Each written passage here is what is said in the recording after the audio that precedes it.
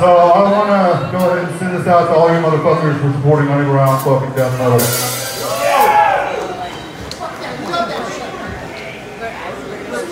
Yeah, this is called uh, Sculpted in Fucking Tyranny.